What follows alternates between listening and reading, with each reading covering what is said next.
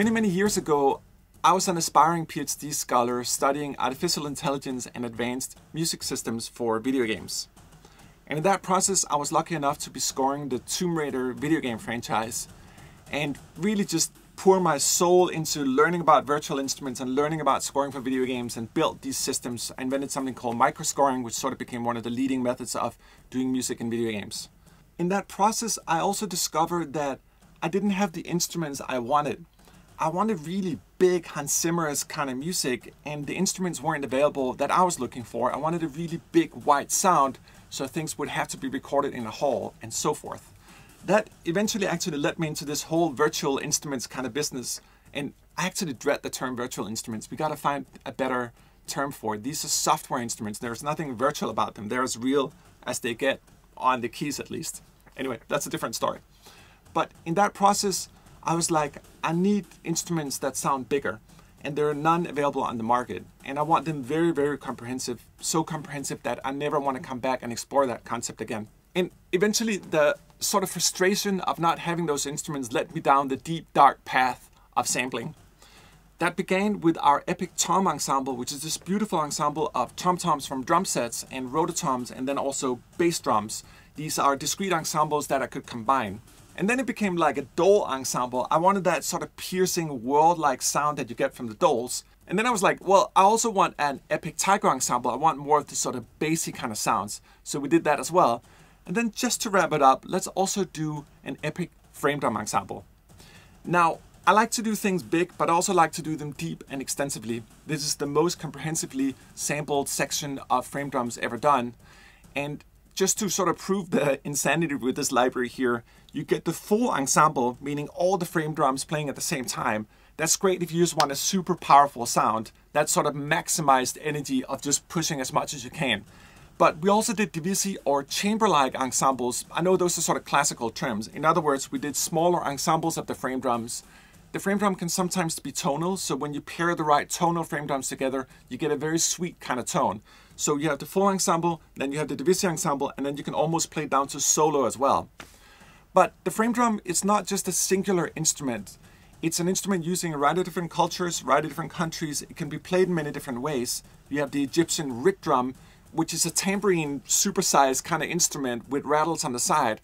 But there's also different kind of frame drums that don't have them. Some are hold with a wooden stick on the back, played on the front with a mallet. Sometimes they're played on both sides with fingers. There are many, many different ways to play the frame drums. And in this library, as you'll see, we're discovering different families of frame drums, both as ensembles, but also in these so divisi and solo-like qualities. But that's a lot of talking. I say we get into the walking. Welcome to the Epic Frame Drum Ensemble.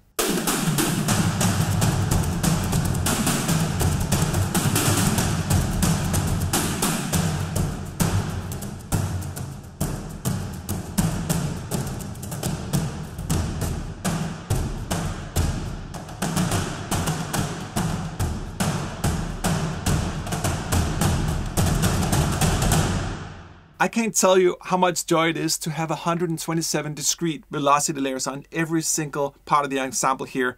As you can see when I play different keys,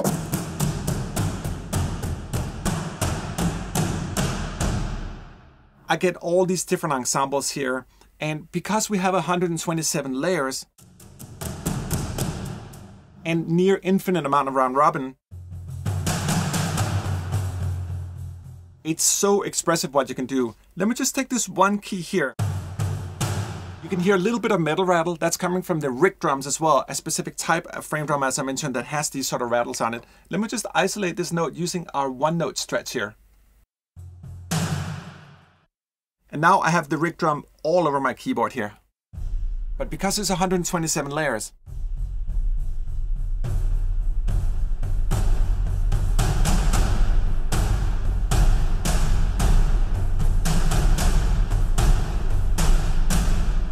And because I'm playing across the entire keyboard here, even down to the basses, this was like two octaves lower than its standard tone.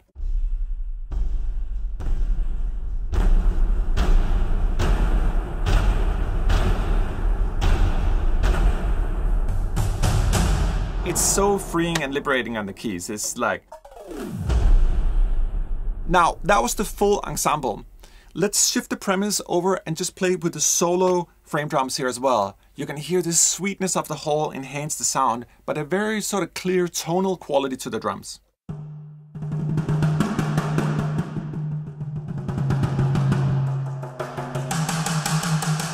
That one here.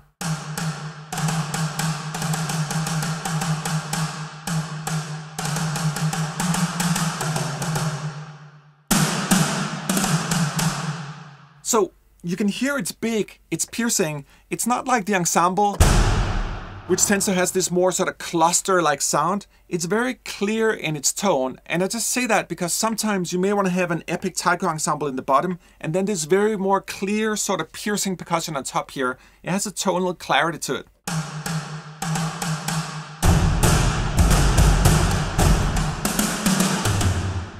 Oh my god, that's like the Phil and Collins.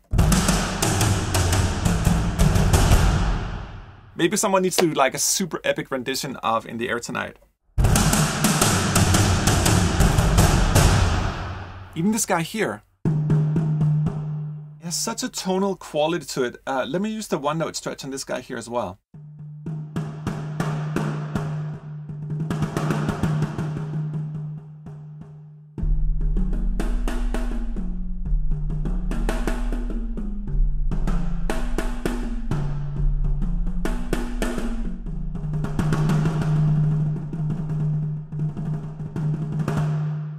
Now, because we have near infinite round robin, that also means that stuff like rolls can completely be done just by playing them here. I can't play this fast on the keys, so let me just trigger it in the ARP here so you can hear what I mean.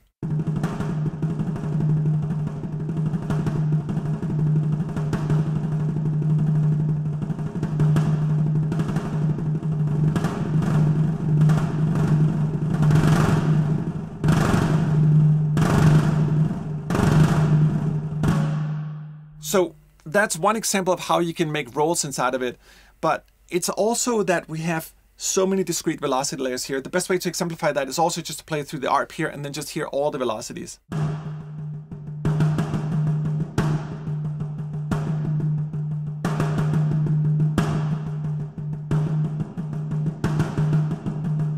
It's just infinite.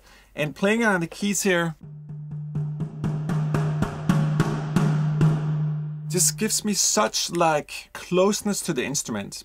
I remember I was in the sessions and this is sort of the closest virtual representation because there's no more like, oh, I only have these layers or I can't do that many round robins. It's really the true representation of being there.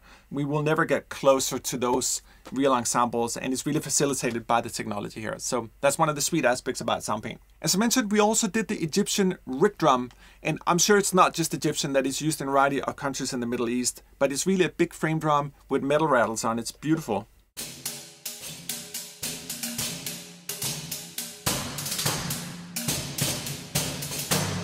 I'm so like butchering this thing here. When you see real people play riq drums, they're really, really fast and nimble on the keys. But it's really this sort of idea of a playable tambourine, if you will. Play it with your fingers or with mouths.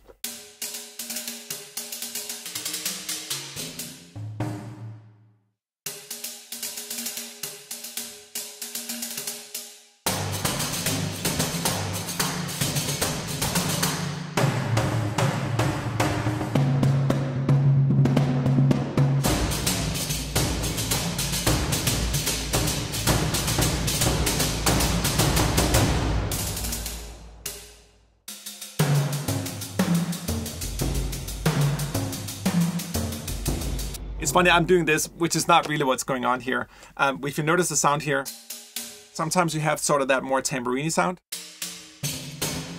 This one with a little more body in the sound. Almost free of rattles. Very percussive with a little more rattles. They're hit harder with the sticks.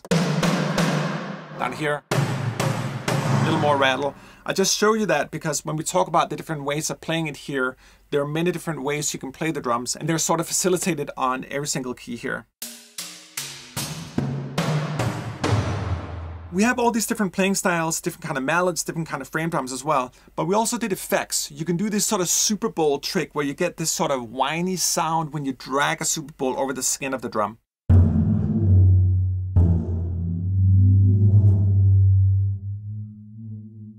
Ooh, that one is cool.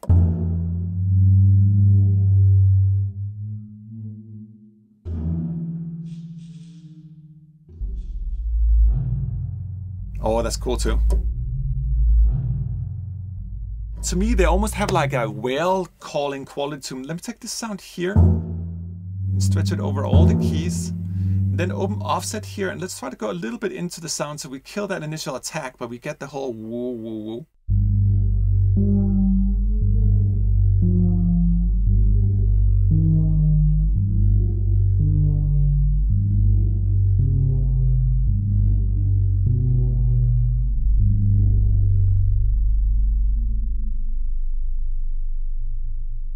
So cool. Almost like a synthesizer. Let me stretch it down in time here, see what happens. So that was an example of what we call deep drags, meaning very slow, long kind of motions. We also have drags, as we call them, these effects articulations, for the large frame drums as well.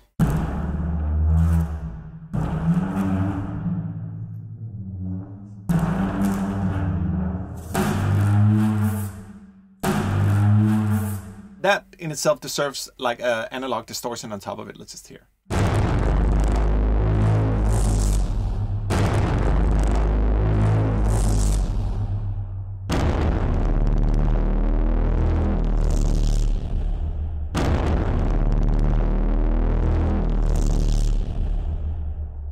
Yeah, that's good enough.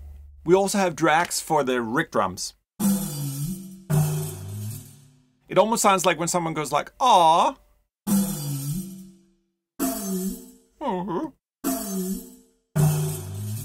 Oh. I must be losing it. We also have Riq rolls. That would be R-I-Q rolls, not what you think it might be. Yo, it's that kind of sound. But this is SoundPaint, and you know, how funny that there would be like tonal qualities. I didn't hear that down in the root note. It was like water.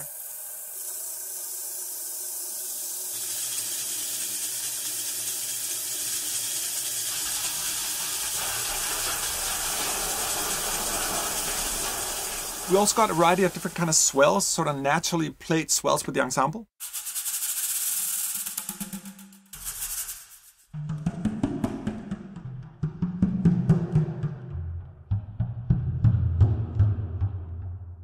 This is one of my favorite programs. This is the Master All program. So you have all the different ensembles all laid out in the keys here, beginning in those sort of more solo-like qualities up here and then getting deeper down to the sort of more bass-like qualities. And we also have this Stomp ensemble, which is in the bottom of the keyboard here.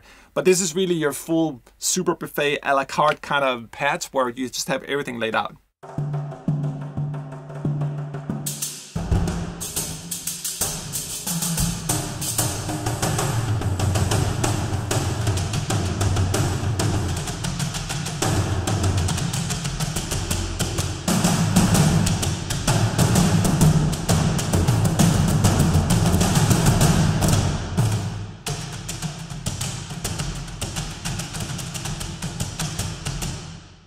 Down here, this is the body ensemble where we're slapping ourselves and the drums at the same time, just to try to get a sort of different, more bass-like sound. I'll come back to those as well. But this is really the full ensemble on the keys here.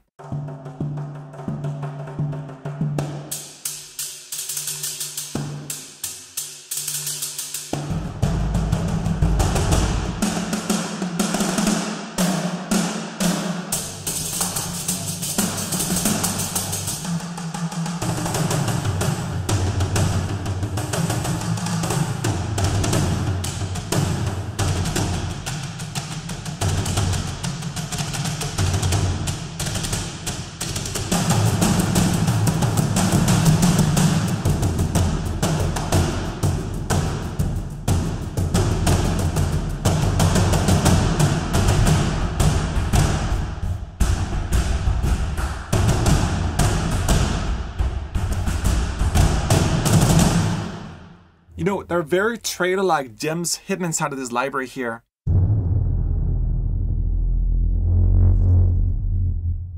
There's something super powering in SoundPaint about not just having the classical sounds like we have in Kontakt, for example, but I have the ability to make them into so much more. Let me give you a few more examples of that here. Um, in this patch here, I have the solo frame drums loaded here. They're all laid out in the keys here but I want to show you how you can control the room size of them This is a big room. We recorded these guys in a church, but you can actually shrink the size of the room and get a more local sound.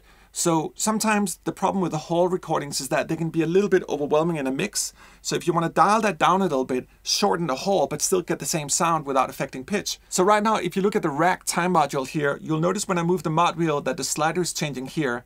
In middle position, it's how the samples was naturally recorded in the church. But as I move the slider up here, the room is going to get shorter and shorter.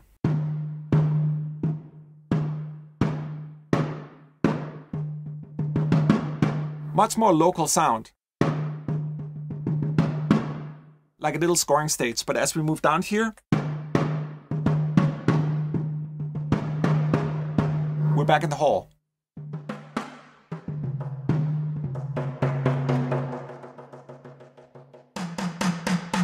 This one is very sort of punchy, so you can really hear the ring out of the hole being short here.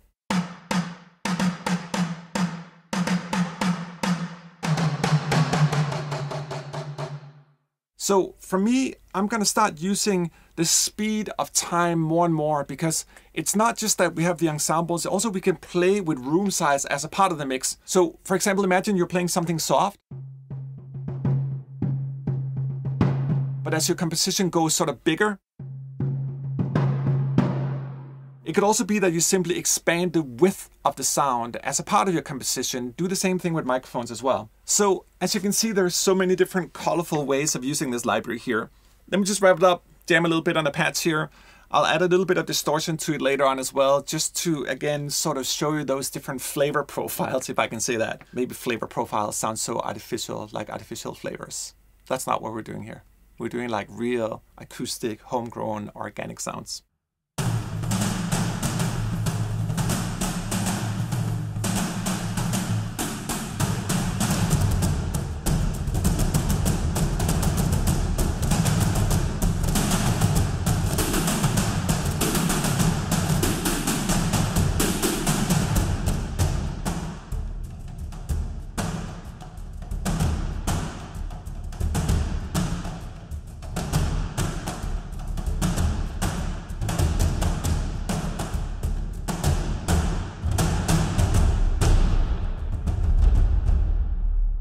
So sweet down here. You know, epic can be many things. It doesn't always have to be loud, but sometimes it can just be big, fat, deep.